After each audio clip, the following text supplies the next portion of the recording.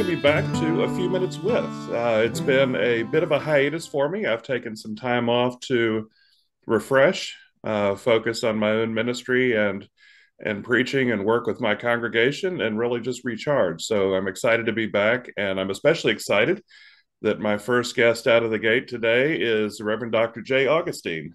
Uh, Jay is the senior pastor of St. Joseph AME Church in Durham, North Carolina. Uh, he's a published author, uh, contributor to a number of law journals and law reviews. Uh, he's consulting fac- faculty at Duke Divinity School, uh, visiting professor at North Carolina Central University Law School. Uh, when do you sleep?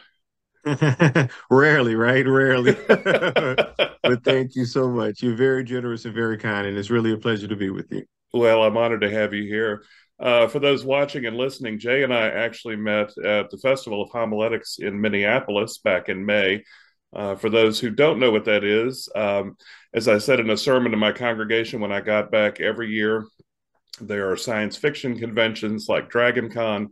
Uh, there are comic book collector conventions, Comic Con. Uh, this is basically Preacher Con uh, for folks who are in the pulpit. So I was uh, delighted to have a chance to meet you there. And actually, you mentioned uh, that it was not only your first visit as a presenter, it was your first visit altogether. So I'm curious, what was it like to attend the festival uh, with the dual hats of being both just an observer and also somebody preaching and presenting? Yeah, thank you for the question. I mean, it was really rejuvenating. We all have been through so much. The clergy members have been through so much over the last few years in particular. And not that the job is easy regardless, right? Uh, but it was really rejuvenating to be in a space with so many wonderful homileticians, so many wonderful preachers and proclaimers of God's word.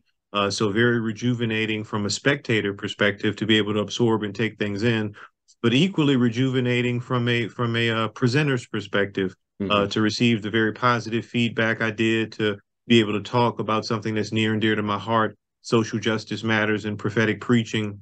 To be able to talk about my work, right? I've I've written two books over the course of the last two years uh, that certainly have been a labor of love.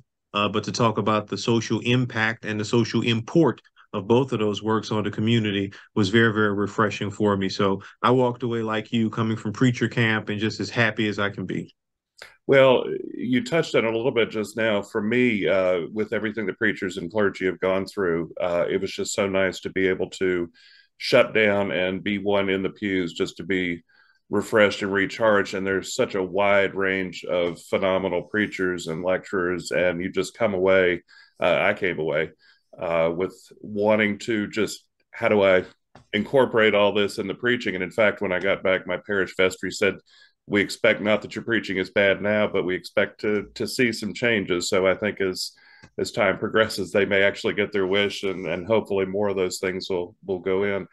Uh, you mentioned uh, the two books, and I've been excited to have you on to talk about your most recent book in particular, uh, "When Prophets Preach," uh, which you talked about at the at the uh, festival, and uh, a little bit just now about how it's basically a toolbox to give folks uh, who are preaching the motivation, the skills, and a little bit of the basis to preach prophetically and to encourage congregations to preach, uh, take that preaching and get engaged uh, with prophetic action. Uh, it certainly got an incredible number of blurbs on the dust jacket. I mean, it's a who's who: Michael Curry, Rebecca Messman, James Forbes, Otis Moss III. So there's a lot of outside reasons to read it. I've read it. Uh, I've gone through two highlighters, reading it and highlighting, so I can certainly recommend it myself. Uh, I'm curious. You talk about a lot of the events uh, since the 2020 election, uh, and in fact, some of the Black Lives, uh, the incidents precipitating a, an increase in the activity of the Black Lives Matters movement. Um, in thinking about doing this book, do you think you would have been able to do it at this point without these precipitating factors, uh, or do you think you would have done it at all if it hadn't happened this way? I think I think the book and the one that preceded it, uh, uh, the one we're talking about, obviously, when prophets preach leadership in the politics of the pulpit, a, uh, publication of Fortress Press, um, uh, 2023. It, as well as the one from the previous year, Call to Reconciliation: How the Church Can Model Justice, Diversity, and Inclusion published by Baker Academic in 2022. Both and the books really dovetail with one another, almost like a part one and part two, almost like reading the Gospel of Luke and then going into the Book of Acts. Right. Mm-hmm. Um, um, I think the books, just like a sermon, should be responsive and informative with respect to the time. Mm-hmm. Um, uh, one of the things I highlight in When Prophets Preach is the is the great admonition from Karl Barth, a German theologian, that the pastor should preach with the Bible in one hand and the newspaper in the other. Yeah. Uh, now that's really a multi-layered uh, a kind of axiom, right? Uh, but but but for my purposes, the the biblical text comes to life and is made applicable based on what's going on in the world. So the book obviously is not only responsive uh, to recent events uh, in responding to much of the polarity and the divisions we've seen in America, but it also attempts to chart a chart a forward course, uh, uh, uh, to, to chart a course of optimism in response to much of the despair uh, that we've seen over the course of the last few years. So um, I think it is a timely work. I'm the author, so watch the source. He's biased but I think it's a timely work, right? And that it really is responsive to the day and age in which we live. And uh, and I also think that because the old saying is true, uh, uh, nothing changes or there's nothing new under the sun, right? Mm-hmm. Uh, I think the paradigm that we're seeing now is certainly a paradigm we've seen time and time again in the past. And if we live long enough, we'll see the paradigm repeat itself in the future. So I think the lessons learned and the applicability, the headline examples may be different, but the the plot is not going to change. So I think it's a timely work, and I'd like to think it's one that will sustain its uh, its value uh, because of the application. Well, there's so much about it, and I'm going to touch on it as we go through our conversation. But there is a lot in there, even if you remove the sections that focus on the current issues, current events that uh, were basically the maelstrom into which you stepped to write these two books. Uh, I think so much in there is relevant down the road, even beyond the current time. So I'm personally, as a preacher, I'm, I'm grateful for it. Um, early on, you talk about the fact that the entire concept of prophetic preaching is rooted basically in the very first sermon Jesus gave when he started his ministry.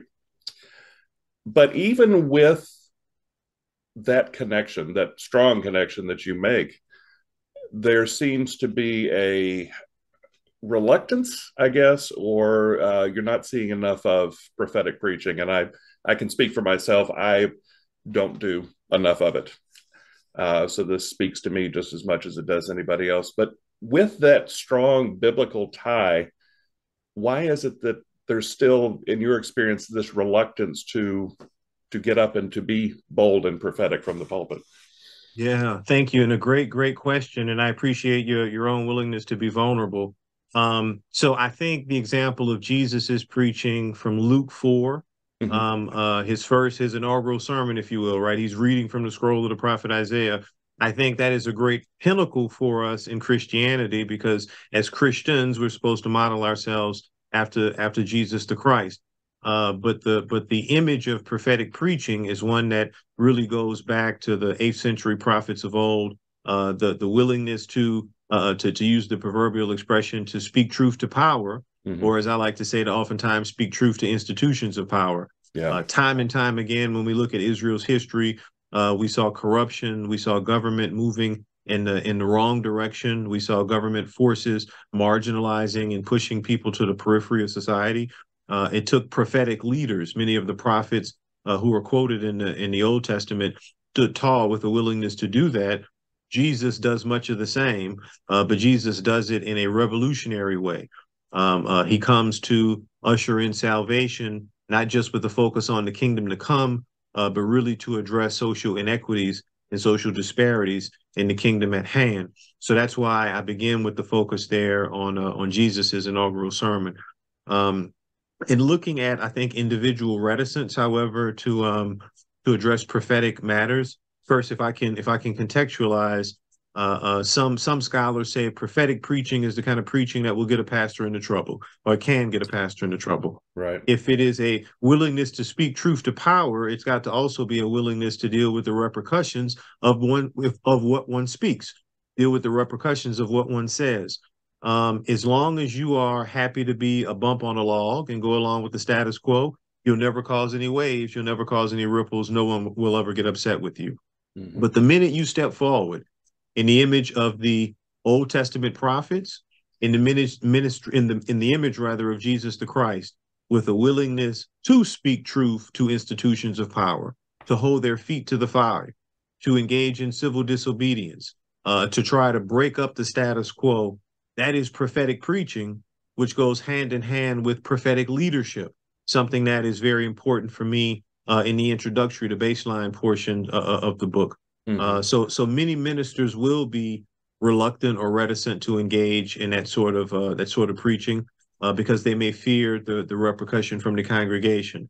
Um, it's a it's a balancing act. I recognize that. I understand the the economic necessity of uh, of of of what a job means. And at the end of the day, yes, we are called to do the Lord's work, but we live in this world.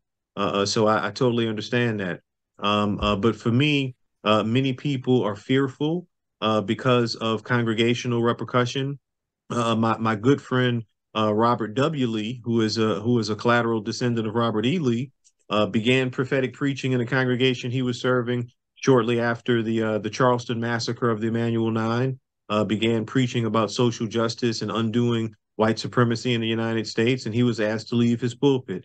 So I certainly understand some of the economic fears there. Mm-hmm. Uh, but the same God who provided in the past is the same God who's going to provide now and who will continue to provide in the future. Robert W. Lee is doing quite well, and uh, and I praise God for his his heroism, his willingness to to step forward and to speak truth to institutions of power. Do you think part of the issue is, uh, and you talked about this in your lecture in Minneapolis, and then you talk about it in the book as well?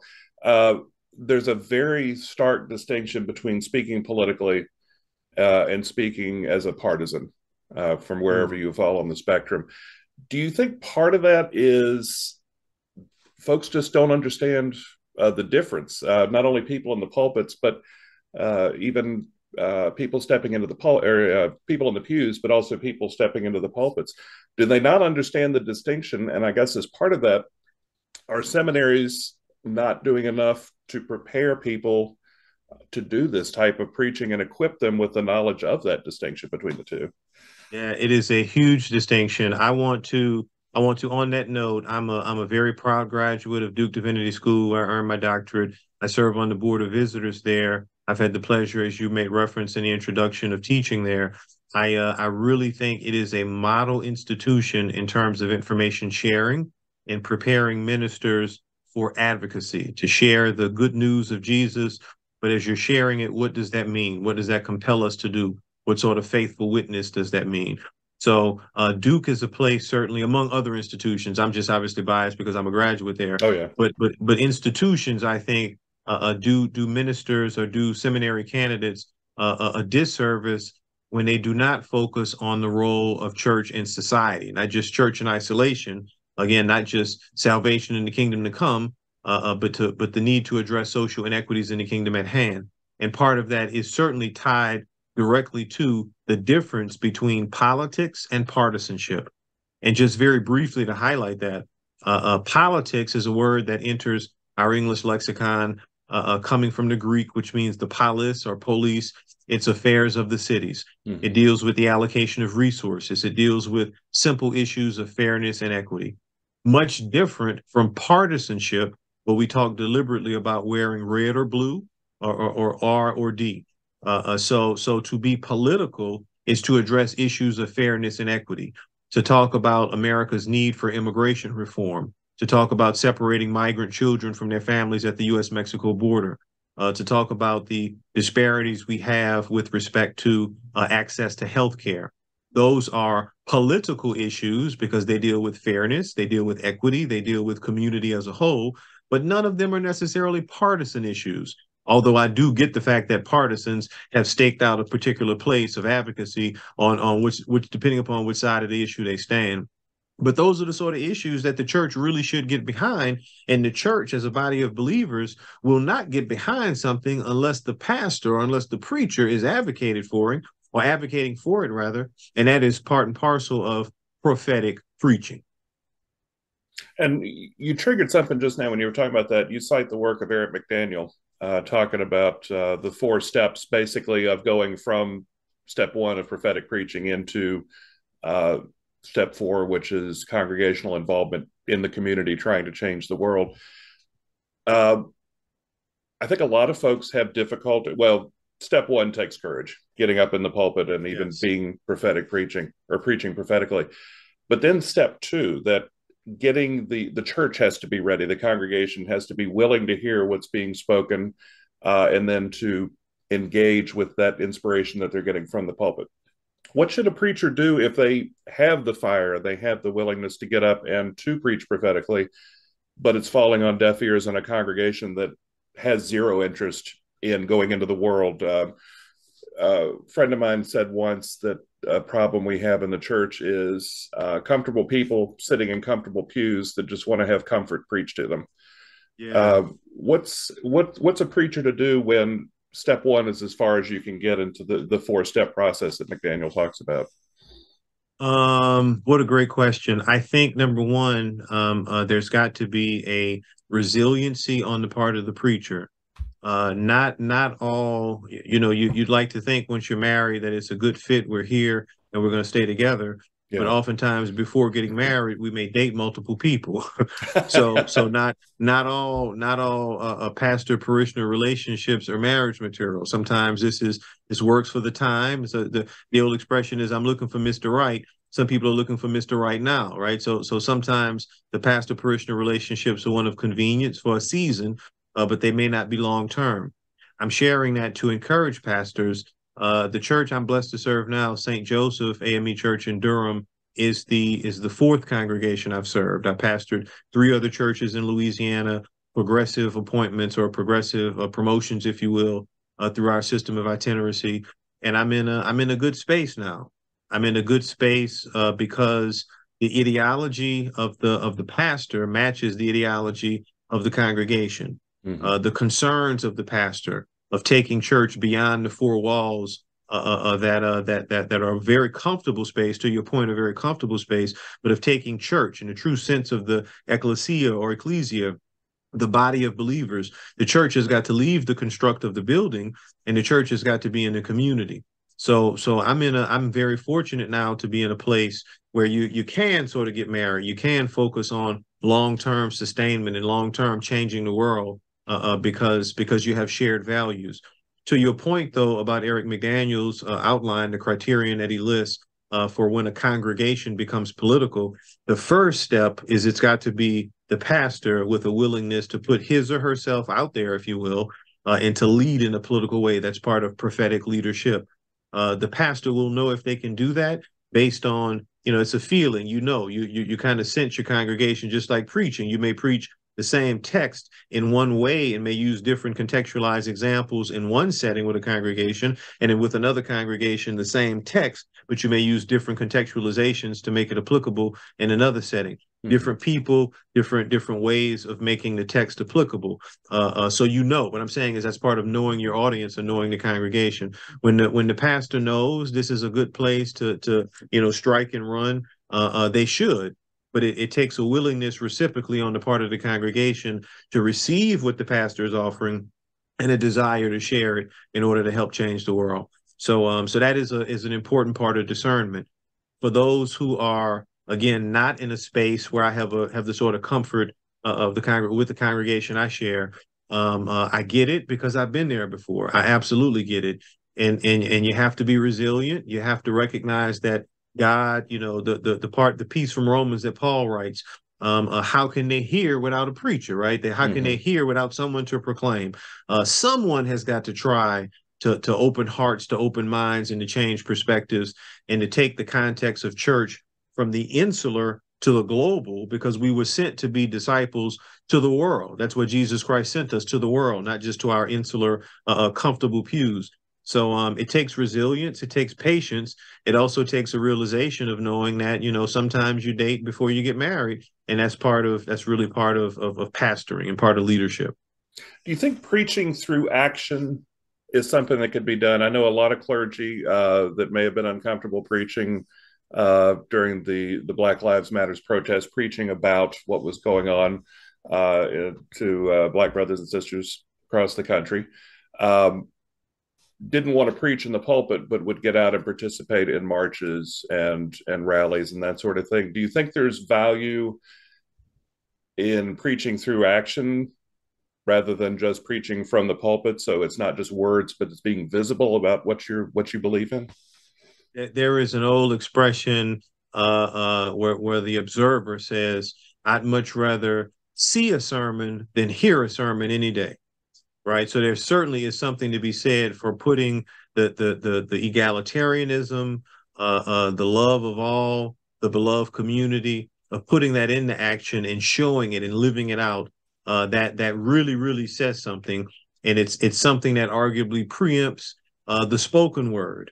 However, as a preacher, I will also say that there is no substitute for the spoken word, right? Uh, because in our, particularly in our Protestant traditions, where we put so much emphasis on preaching, regardless of whether it's Black church, white church, regardless of whether it's Episcopalian, Baptist, whatever the case may be, the spoken word is is is literally god moving our hearts god moving our minds and how god acts through a preacher who is prepared and who is willing to take risk but how god moves through a preacher to to change hearts and minds but to move those hearts and minds once they are changed. So i think the two that you reference seeing the sermon or listening to the sermon should not be mutually exclusive. Mm-hmm. instead they hopefully should work hand in hand to help make the world a better place.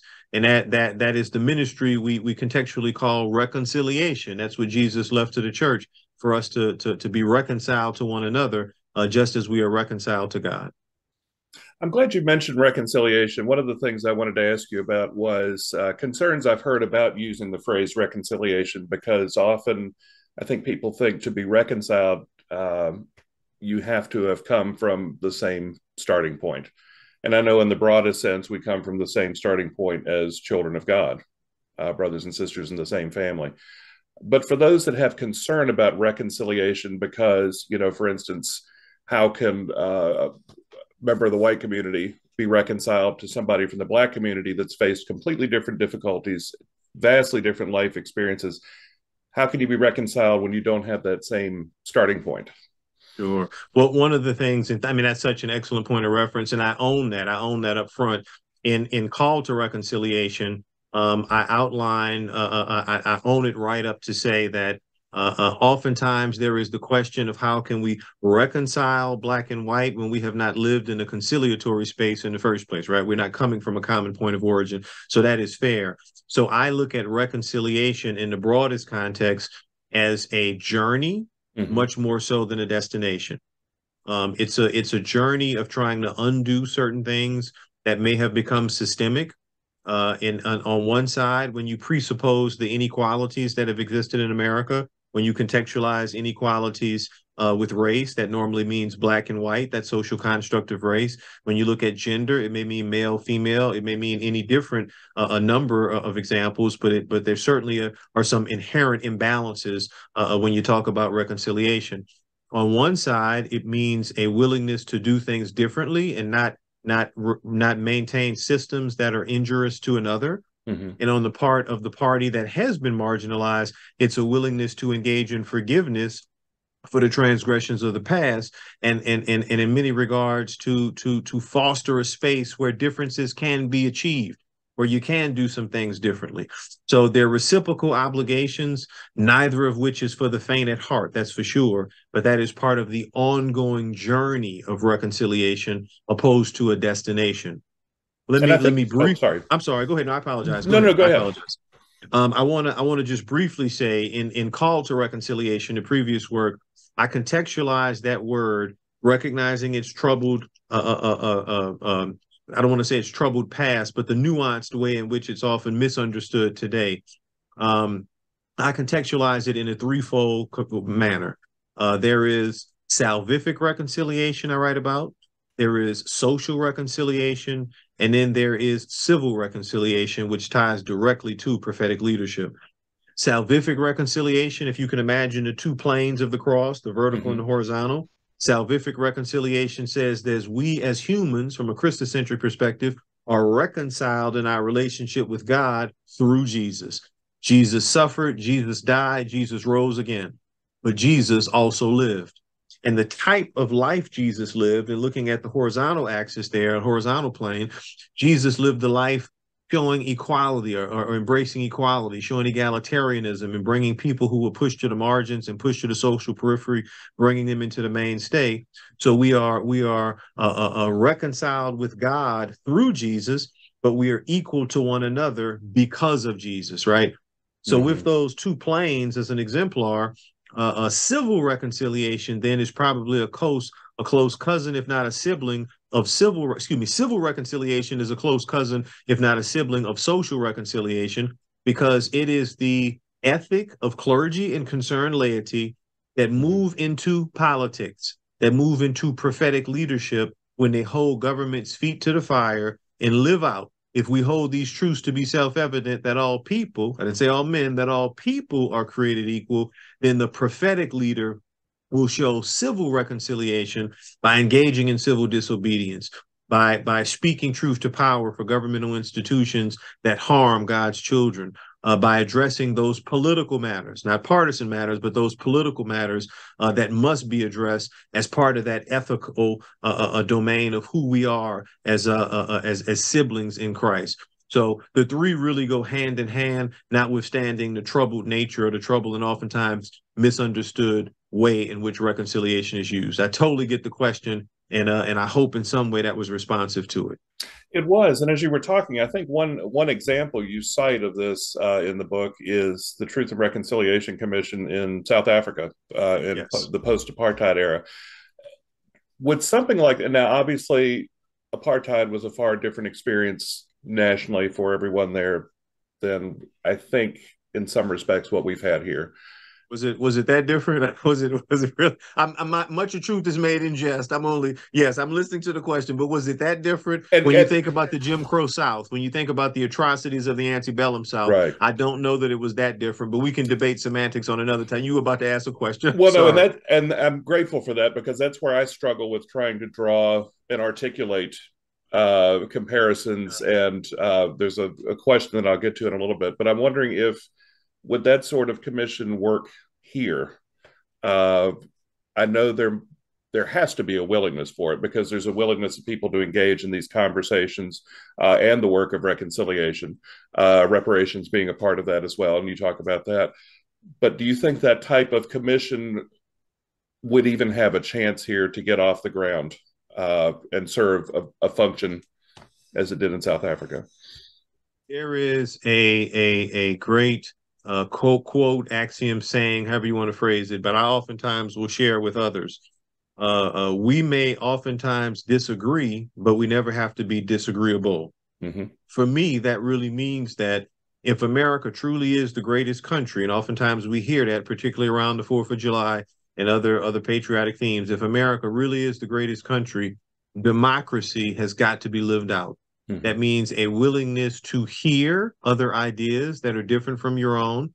And again, you may not always agree with those ideas, but after you thoughtfully digest them, you have an opportunity to voice your approval or disapproval in a in a respectful manner. That is the that is the greatest gift of democracy in our nation. So would a commission like that work? I think as long as we are able to listen to one another, listen to a discourse that may be different from something we're familiar with, and uh, and listen to it with an open mind, with an open eye, um, I think it will be very beneficial. Uh, as long as we do not resort to acts of violence and mm-hmm. resort to anarchy because we may disagree with something, I think a commission like that would be incredibly helpful. Um, I, I recently saw I'm a, I'm a constitutional law professor as well. So I certainly understand the power that the vice president has and the limited power that the vice president has with respect to the certification of uh, uh, uh electoral votes mm-hmm. uh, for for president and vice president. So I um I respect more than I can put into words. I respect Mike Pence for the position he took for recognizing that his role was really ministerial. It was not one of advocacy, it was not one of discretion. It was really ministerial because once those votes were certified by the states, he was supposed to accept them. He did what he was supposed to do.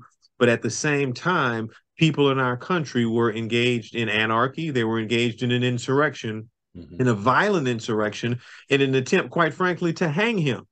Now, I just want to stop for a moment and just paint that. Some group outside the de- the doors of the United States Capitol broke into the United States Capitol screaming, "Hang Mike Pence!" Mm-hmm. to hang the Vice President of the United States of America. When we resort to tactics like that, a commission will never be helpful. Nothing will be helpful. We're going to hell in a handbasket. But as long as we can maintain a democratic perspective and listen to one another and honestly try to learn from one another, I think a commission like that will be incredibly helpful. Yeah. One of the things that came to mind as you were talking uh, about reconciliation, prophetic preaching, all of these in, in combination, uh, is the storytelling component of it. And as I told somebody one time, somebody can share their story with me. Uh, somebody can talk about what it was like to live that experience. I could never tell that story because sure. it's not really my, it's not my story to tell. I can say that somebody shared it, but it's not mine to tell. It's not mine to give. So as we're preaching prophetically, as we're doing the work of reconciliation, what should we do to guard against appropriation? You know, going from the telling and sharing of stories to almost possessing a story that's not our own in an effort to be a prophetic preacher, uh, engaged in civic life, engaged in the community. What what safeguards can we take to inadvertently or to prevent ourselves from inadvertently taking something that's not ours to take? Sure. So I, I think that number one, one of the pre- preachers will all be different because individuals are different and preachers are people. Mm-hmm. Uh, so so sermons are going to be different. Sermonic delivery is going to be different. But if there is ever a formula that I think most preachers follow, uh, uh, explanation, illustration, application. and illustration oftentimes comes from uh, the individual's lived experiences. Uh, that is the that is the authenticity of who the individual is that draws the listener in. And oftentimes, to your point, that is through the power of narrative. Oftentimes, when I'm preaching, I'll stop and say, "Let me tell you a true story." How oftentimes have I talked about my mother? How oftentimes have I talked about something from my native New Orleans? How oftentimes do I reference something that is uniquely my experience because it draws people in to me as the preacher for that given moment? Mm-hmm. One of the associate ministers will preach something very different because it's based on their life experiences. A guest preacher will preach something different because it's based on their life experiences too. I'm sharing that to say that all of us should feel empowered to share uniquely from who we are because each and every one of us has been called by God to do the good work of preaching God's liberating love to other people. Um, um, when you follow that, when you follow that illustration and you share of yourself, um, I think there is a willingness to receive it. And and let me illustrate by by um, contrast of color, if you will. Mm-hmm. I am obviously an African American pastor, preacher, prophetic leader, however you want to phrase. And I will oftentimes give those contextualized examples from my lived experiences as an African American. And, and people can respect that. It will resonate with others, whether I'm preaching in a majority white congregation, whether I'm preaching to a majority black congregation, whether I'm preaching in a mixed congregation, because it's authentically who I am. Mm-hmm. I have had friends who are white preachers who have come to St. Joseph. I have had friends in other spaces, white preachers, who've gone to other congregations I've served. And uh, and when they share authentically from who they are in the midst of a majority black crowd, they are received incredibly well because the power of narrative and the authenticity of who they are is what draws people in. Mm-hmm. So rather than appropriating someone else's story, I would I would suggest that uh, if I can say humbly, just like I know with conviction the good Lord called me, just like I believe with conviction the good Lord called you, just like I know with conviction God called some women to ministry, God called men to ministry, God has called a proverbial other to ministry. God has given us all a unique story and part of drawing the listener in and preaching is sharing authentically your story. So there's no need to appropriate someone else's. Yeah, does that make sense? I hope it does make sense, and I, I, I wonder too about the concern some may have that they almost will pull back on their preaching because they're worried about inadvertently appropriating or inadvertently taking without even realizing or meaning to do it. Suddenly, they've launched into a sermon, and they realize in hindsight I shared a story that's not mine. I shared an experience that's not mine.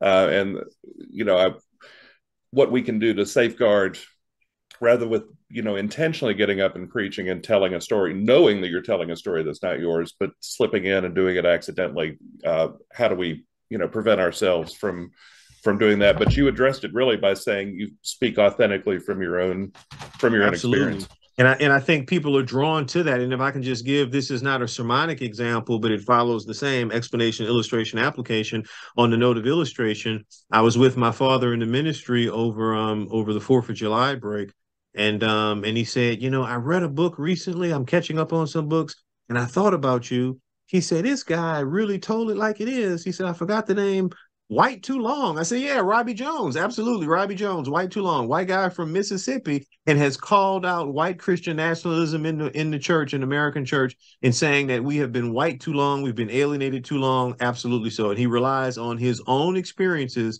as a white man from the South to identify a problem, to call out the problem, and to propose solutions to the problem. Mm-hmm. Clearly, I can't appropriate that story, right? Right. But he's spoken authentically as as he is. He's being received incredibly well because of his authenticity. So everybody has a unique story, and I would encourage everybody who wants to move to the goal of eradicating racism, of doing away with misogyny, of addressing social issues that that that may make us uncomfortable from time to time, be like Robbie Jones and White Too Long. Authentically share who you are and, and, and authentically share yourself because it will be well received.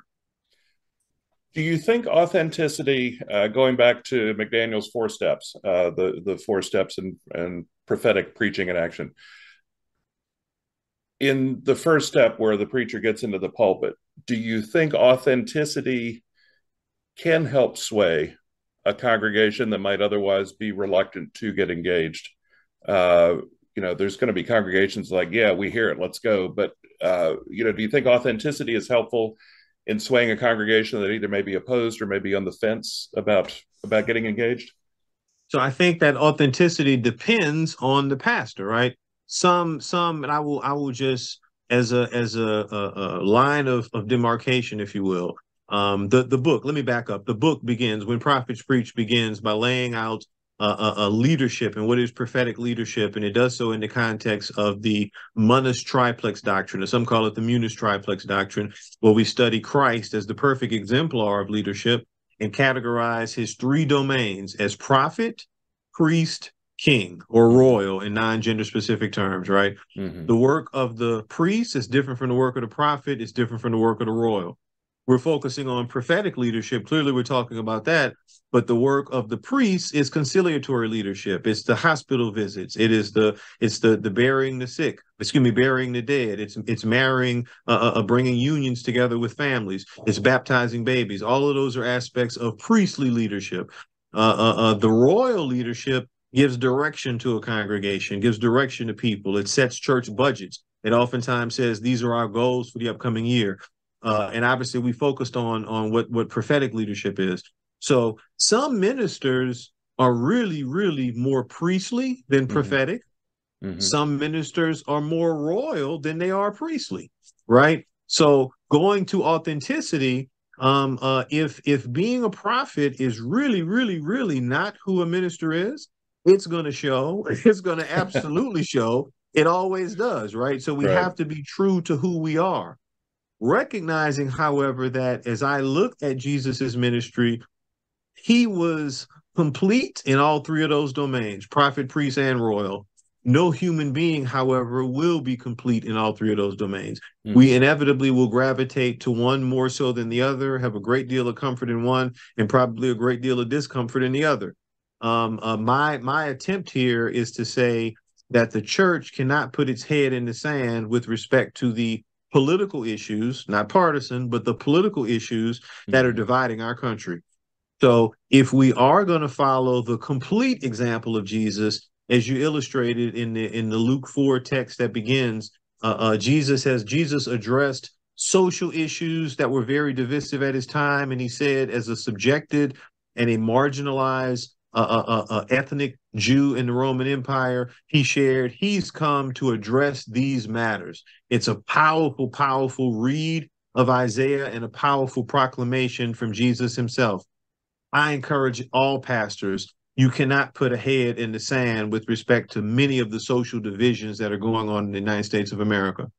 Fourth of July, as we were supposed to be celebrating America's independence, there were 17 mass shootings across the United States. The prophet has got to speak out. Those that is one of so many examples of how we are being torn apart as a people, and we cannot let domestic terrorists who who attempt to inflict fear upon people in the name of the Second Amendment or otherwise. We cannot let those folks have the have the last say because there are legal means to address that, legal means to remedy that. How do we move legislators? We move them through their constituents and through people, and those are the people that are in our pews. I'm just using that as one example to say to illustrate the importance of prophetic leadership, which comes or goes hand in hand with prophetic preaching. Yeah, thank you for that. There is, I noticed as I was reading through the book, there's a word that came up a few times, and I think in normal circumstances it wouldn't have jumped out at me, but the way you used it was so powerful, it was just leaping off the page at me. And it was the word invite. There were several instances where you talked about uh, an invitation to a congregation to do something, uh, an invitation to individuals to to take particular action or to engage. It wasn't so and so must do this. I'm demanding that so and so do this. It was invite, and in the midst of everything that you were addressing, the use of that word to me was really powerful because it was almost like an eye of a hurricane. You're going through the hmm. swirl of everything that precipitates the need for prophetic preaching and civic engagement, but it's doing it in a way where you're almost opening your arms and extending an invitation. So was I I know it was an intentional thing, but uh, I just wanted to say how much that meant to me because there's a lot more power I think in invitation than in pleading or in urging or that type thing. Absolutely. So one of the uh, one of the things I think that is is very relevant about the book, um, it, it it begins in sort of a cerebral capacity. It gives some you know theoretical notions of leadership, prophet, priest, king, munus triplex. It moves into some examples of how prophetic leadership stands up and stands out. Looking at uh, uh, uh Martin Luther King Jr. and dealing with the construct of race mm-hmm. in the uh, in the American state. Uh, it also looks at Dietrich Bonhoeffer and looking at the construct of ethnicity between a, a Jew and, and German there uh, in the uh, uh, in the in the German state, right? Uh, but then toward the end of the book, the last chapter moves for a practical prescription for bringing people together going back to the term reconciliation, right? Not that they necessarily had a conciliatory relationship before, but trying to move on a journey opposed to a destination and it extends an invitation or it advises pastors to extend invitations to various groups, the other, capital mm-hmm. O, uh, uh, mm-hmm. uh, rather than being limited by the otherism of a of a replacement theory and a fear, and saying that you know this segment of society is going to replace me, or you know uh, uh, Jews are replacing us, or African Americans are replacing us. It invites pastors to go into a place of holistic acceptance of the humanity of all of us as parts of the beloved community uh, and use the church as a vessel to do that. I recommend a, a calendar. It certainly has worked well in my ministry, uh, but a calendar that says, let's bring the sacred and the secular together to heal communities. Mm-hmm. Um, uh, uh, certainly, the liturgical year begins with Advent, the Adventists, and the anticipated coming of Christ. You move into uh, the Christmas uh, season, of course, but then in January, there's Martin Luther King Jr. Day. What an mm-hmm. opportunity to invite somebody who otherwise might not be in that space, invite them into the space, again, with that same understanding that we talked about before. We may not always agree on everything, but we never have to be disagreeable. We can always find common ground. How about moving into February then with the celebration of Black History Month? Uh, well, somebody may say, well, we don't have any Black people in the church. Okay, would you invite some?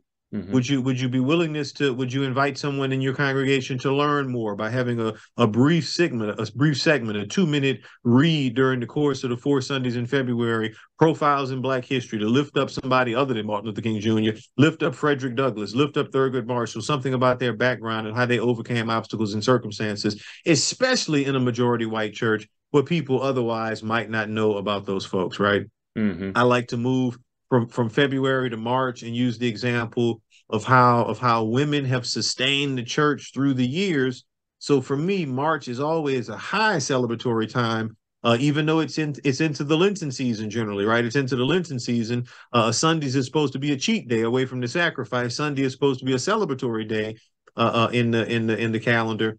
Um, uh, I focus on Women's History Month and celebrating the accomplishments of our sisters. I'm using that just illustratively to say of the 12 months throughout the year, I begin uh, uh, really with the last Sunday of November or first Sunday in December as Advent falls, mm-hmm. and go all the way through the, the calendar year and liturgical year in bringing together a time of celebration, a time of lament, uh, a time of, of information sharing, all of those things that go on with ministry, with a healthy diet of ministry, if you will, um, uh, to invite others to Christ by being specific in inviting people to Christ that for me is a is a fundamental part of what reconciliation is supposed to be. That chapter was a revelation to me. I'm very type A. I will freely admit that. so scheduling is a huge thing for me. But reading this chapter, I was pulled up short significantly because I realized my scheduling is done through basically blinders through tunnel it's tunnel vision. Mm. you know it's october so we've got the blessing of the animals or the trunk retreat. Uh, it's august so we're going to collect the gift cards for the elementary schools. Uh, it's lent so we're going to do the lenten series during the week. But it was all within what i was used to. Um, and i loved that chapter so much because it was like a window was opened in a part of the house that i'd never been in before and i'm seeing an entirely different way of engaging the church in the community and bringing the community back to the church and that's something i have wanted to do with this church it's actually the church i was raised in so the, all these years mm. later mm. i'm back mm. as the priest and the church was always the center of the community historically uh, for the last. And that's almost... the way it should be. That's really the way it should be in every community, as far as I'm concerned. That's really the way it should be. Yeah, and so your your chapter, and you're talking about that calendar. A, it stripped away the blinders, and I was my field of vision became enormous but it was also like this is how we can get the community here even if they don't come on sunday if it's a wednesday night thing if it's a saturday afternoon event. This is how we can get the community here. This is how we can build community. absolutely. Absolutely. And, and thank you for so much for saying that. I'm um that that is really my goal to make church not just geographically the center of communities, but but in terms of the emotion that it really should be the center of communities. Mm-hmm. Um, uh, one of the things I also realized in a very practical uh, context when I was pastoring in New Orleans, I had the blessing of serving the oldest predominantly black Protestant church in the Deep South, a congregation that was founded in 1844 and the building that I worshipped in or led worship in was founded in 18 was established rather was constructed in 1848 needless to say, maintenance was a major line item in the church's budget. Needless yes. to say, I had to be creative, and we were creative by having benefit jazz concerts in the church. One of the reasons for that is recognizing jazz in a place like New Orleans. Everybody loves jazz, right? But um, but that's not just to to serve or to to entertain, if you will, the congregation. It's really an invitation to the community to come to a place that perhaps you might otherwise not go. Mm-hmm. You may have no interest in going to church on Sunday, but but jazz, if it's something that largely the community is in love with, is infatuated with, and some of the headline artists we had, I'm really working at re-imaging what church means, what church looks like to you. It's not just a place that's a one day a week operation, but it's a mm-hmm. place where you can go in so many regards for satisfaction, whether it be for a meal, uh, whether it be for spiritual satisfaction, a spiritual a sustainment, whether it be for community forums, for news, for pop, whatever the case may be. My goal is always in this day and age of, of postmodernism, it's called, right? right? In this day and age, to re-image what church looks like for folks, and that was really my my attempt in offering a, chapter five, the prescriptions there. So, thank you so much for saying the way it touched you and maybe opened some perspectives in your ministry. Thank you so much. Oh, it, it's my pleasure, and I'm going to be going back to, like I said, uh, I've highlighted the fire out of this. Uh, I think I went through awesome. two, uh, and I'll be going back to it often. But yeah, there's so much rich, rich material here. Um, I'm learning how much I don't know. Uh, this conversation that we've had, uh, I am thankful for your grace with me uh, as I struggle with my comprehension and how to relate and how to put language to things that are not my experience. Um, I'm not a prophetic preacher yet. We had this conversation in Minneapolis, not yet. Sure. Uh, so I'm just grateful for this because, and you told me when I read when I first bought it and you signed it, and we were chatting uh, that you hoped it would make an impact on me, and I don't think you'll ever know how much of an impact it made on me because, again, it's it's helping me put language to the things that I haven't been able to talk about. It's helping me prepare myself for the things that I think I need to do moving forward, uh, and to have these conversations with members of my parish, uh, with clergy colleagues uh, in in the, the diocese. Uh, so all I can say is thank you. It's been a revelation for me, and I'm just grateful that you know I'm sorry that we had all the circumstances in the nation and the world that precipitated your feeling the need to write this, but one of the gifts from that negativity and that the horrible events of January 6th and everything else is this book and the impact it's made on me. And I encourage everybody to get it because I have no doubt it'll make an impact on on them as well. Thank you so much. I wanna I wanna lift up something briefly because you just said something that is the perfect. If I were trying a case right now, I would say, Your Honor, Exhibit A. I mean, there we go. Right? You just you just made the entire case.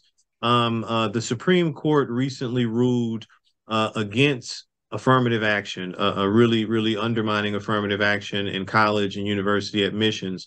Um, and it it undercut the value of diversity. Um, I wanna I wanna take that legal opinion or that rationale, and I want to hopefully flip it on its ear by giving a scriptural contextualization, mm-hmm. as well as going, I think, to the heart of what you just said and what what underlies or or, um, uh, or under under supports your comments. Um, um, number one, from a scriptural perspective, um, the the church begins uh, in a in a non-reconciling sense. It begins as a as a Jewish entity uh, where Gentiles are seen separate and apart. Mm-hmm. Uh, so so so what would become the church? What what the the first the first time the word church is used in in scripture is in Matthew, uh, uh, where Jesus says, "On this rock I will build my church," and he says that to Peter, and the gates of hell will not prevail against it.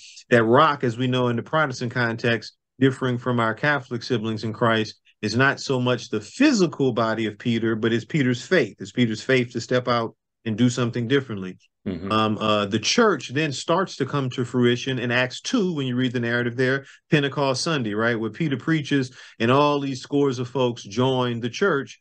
But as you know from the narrative there, there, there are Medes, there are Parthians, there are others, others, but all of them were Jewish. None mm-hmm. were Gentile. So meaning all of them were the same. If we were to put that in our own racialized context, that means okay, all of these people they may have been from different parts of the United States, but all of them were white. It was still a white church.